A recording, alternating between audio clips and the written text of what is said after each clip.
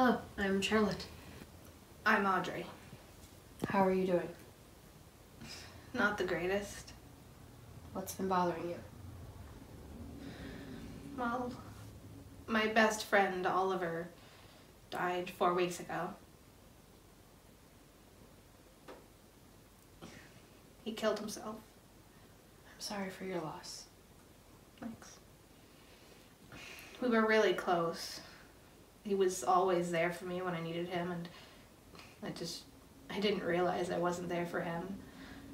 And now I should be getting on with my life and moving along, and I just can't.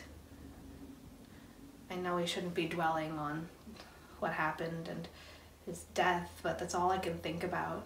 And he'd be wanting me to think of the better times and the fun we had, but I just can't. Well, you two are very close, and grief is a process, and it takes time, and you can't rush anything. So, a good start would maybe be telling me some positive memories you do have with Oliver. Okay. Well, there's this one time at last year's New Year's Eve party. It was me and Oliver and our friends Tiffany and Katie. Road's bad? No, it's just that perfection takes time. Wait, um, where's Tiffany? She's still in the car. Her song is on. Why am I not surprised?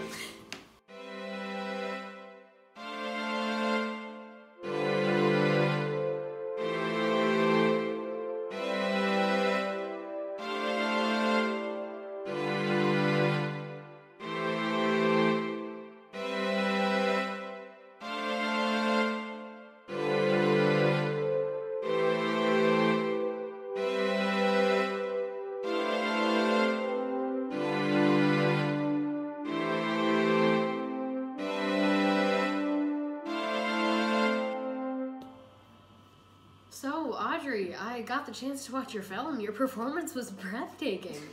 Thank you. I was really hoping for that role. I've heard a lot of Oscar buzz. That wouldn't surprise me. Thank you. So, how was everyone else's year? Um, no comment. I'm gonna need a drink for that one. Let's just say my Tinder dates were flops and sobriety is overrated. Um, mine wasn't the best either, uh, but I just have to say it just feels great for all of us to be together right now, like we used to be. Those are the days. Yeah. Tell me a little bit more about who Oliver was. Oliver was musical. He was a singer.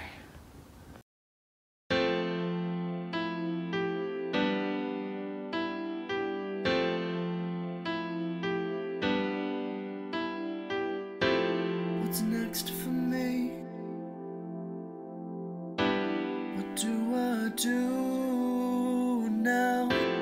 It's so cloudy, I feel faded. We're saturated.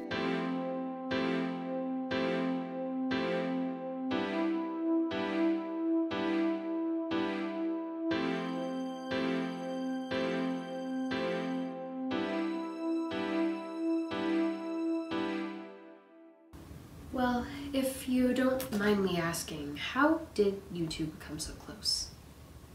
Oliver was there for me when I felt like I had nobody else. My parents kicked me out of the house because, well, they disowned me.